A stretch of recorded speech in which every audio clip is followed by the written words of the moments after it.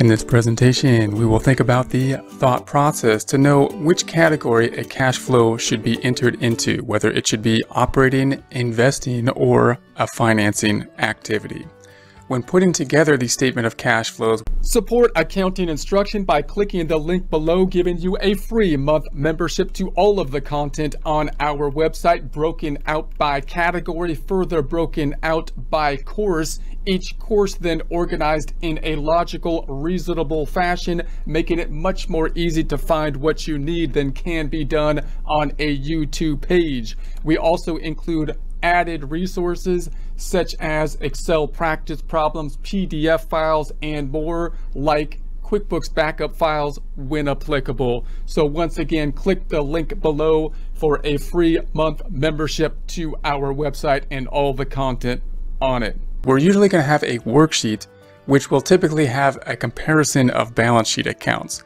And we also might just have test questions that will ask us, uh, where should this cash flow go? And that's going to be a common kind of question that we're going to have whether we build the entire cash flow statement from scratch or whether we're just asking uh, test, test questions and trying to know what types of cash flows we're talking about. It's also important for practice as well so that we can understand when we're thinking about cash flows, where do they belong? What do these cash flows mean? What are they doing for us? What are they doing for the company? Are they part of the operations? Are they part of investing? Are they part of financing? If we look at a worksheet like this to build the statement of cash flow, typically we're going to look at a balance sheet for two periods. So here's our balance sheet for these two periods, and we'll have the difference uh, between the uh, two periods in terms of the balance for these balance sheet accounts. So we've got cash, accounts receivable, inventory, uh, prepaid expenses. Now what we're going to do is we're going to take the change in cash, that's going to be the end result on our statement of cash flows. And we're going to kind of back in to that end result by looking at the change in the other balance sheet accounts and try to figure out uh, what's causing this change. So we're going to go through all the other balance sheet accounts, look through these changes, and we know that if we look, if we add them all up, they add up to zero. Why? Because the debits and credits for one uh, year add up to zero. The debits and credits for the other year add up to zero. In other words, the debits minus the credits equals zero. And therefore the difference between the two years, debits and credits, the change, will add up to zero. So we know that's the case, and we know that if we add up then everything except cash, then the result will be the difference in cash. So that's how we're going to kind of work and put together our uh, statement of cash flows. So what we need to do then is we're going to take a look at these changes in receivables, changes in inventory, changes in prepaid expenses, and then try to determine uh, where does that change belong? Uh, before we get into any other question, is, is the change of inventory an operating, investing, or financing activity? And uh, is the change in long-term notes payable, is that going to be an operating, investing, or financing activity? Our goal here is to go through a thought process to see if we can think through more clearly uh, which category these, these should be belong to. Uh, so what's the most common journal entry in this account? It's going to be our first question whatever account they're giving us here, we're going to say, let's think about the most common journal entry that's related to this account. There's typically going to be one or two journal entries that are going to be very common, and we want to just write that down first. Once we know the most common journal entry, then we're going to ask, is an income statement account involved? So when we think about whatever account we're dealing with, we'd write down the journal entry and say, okay, is there an income statement account involved? Is there a revenue account or an expense account involved? If the answer is yes, then it's probably the change that we're dealing with is probably something that should be in the operating activities. Because remember, the operating activities is kind of like the income statement on a cash basis. So if we're dealing with something that's, this change has something to do with the income statement, then uh, it's going to be something on the operating activities typically. If the journal entry has nothing to do with uh, the income statement. There's no revenue or expense accounts involved in the normal journal entries uh, related to these accounts. Then we're going to ask the question, are we purchasing or selling an asset? Because, uh, so if it's not operating, this means that it's not operating.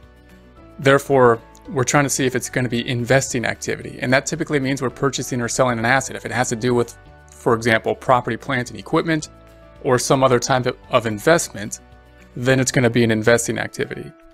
And then if it's not, then it's going to be financing. And of course, financing is going to be dealing with notes, uh, something that we're dealing with that doesn't deal with uh, operating activities in terms of the income statement, no revenue and expenses, and typically doesn't have assets involved either because what we're doing is funding the company. So that's typically going to be something that deals with cash and uh, some type of liability or the equity section. So this is going to be our thought process. If we go through each of those line items and think about each account on the balance sheet, and then try to go through this thought process and think, okay, which category are we going to be putting this change to? Now, this looks a um, little less intuitive than we might think at first glance here, because note what we're doing here, looking at the balance sheet accounts. And we're trying to see what category these things are going to fit into. And remember that the operating activities, I keep on comparing that to the income statement. And you might be thinking, well, these are all balance sheet accounts. Why do you keep mentioning the income statement? And note what we're doing here is we're really kind of backing into the activity is happening by looking at the change in two points in time. So we're kind of still looking at the income statement activity type of accounts. We're looking at change, we're looking at activity, even though we're doing that by looking at the change in two points in time, two balance sheet accounts, which are points in time.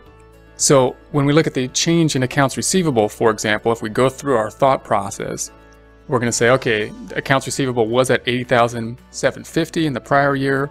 End of the current year, it's at 77,100 that means it went down by 3,650. So our, our goal here is just to determine which category that change belongs to. Is it operating, investing, or financing? And if we think about that, then we can think, well, what's the normal journal entry related to accounts receivable? We're going to have a debit to accounts receivable and a credit to sales. That's going to be our normal journal entry that we'll have related to accounts receivable. And we can see there that Sales is an income statement account. So we know that it, uh, is an income statement account involved? We're going to say yes, therefore it's an operating activity. So note what we're doing here, we're looking at the change in a balance sheet account. We're looking at the change in the balance sheet account, then ask yourself, what's the normal journal entry related to this account? And if we think about the normal journal entry related to accounts receivable, that's a sale of something on account. So accounts receivable goes up, when we make a sale on account and we credit revenue. And revenue is clearly an income statement account.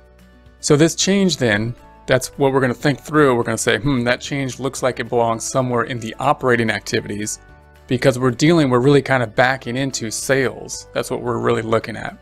And we're going to do that by writing down the journal entry. Let's look at another account. We're going to pick equipment now. So we're just going to go through all these changes and we just got to find a home for all these changes when we when we make the, the statement of cash flows. We got to find a home for them in either operating, investing, or financing, and we'll end up with the change in cash, which is kind of like the bottom line. The bottom line will be cash at the end of the day. So what, we got to find a home for the equipment. Where's that going to go? That change. Well, if we think about the journal entry for equipment, then if we buy equipment, we're going to debit equipment and credit cash, and possibly credit like a note payable, some type of financing. But if we paid cash for it, this would be the most simplified journal entry. Even if we had a note, there'd be no uh, uh part of it that would be on the income statement. One asset went up, the other asset is going down. So therefore, uh, is the is an income statement account involved? No. So we're purchasing, or we're, so it's not going to be an operating activity. And then the next question is, are we purchasing or selling an asset? In this case, yeah, we're purchasing an asset. And that means that it's going to be an investing activity.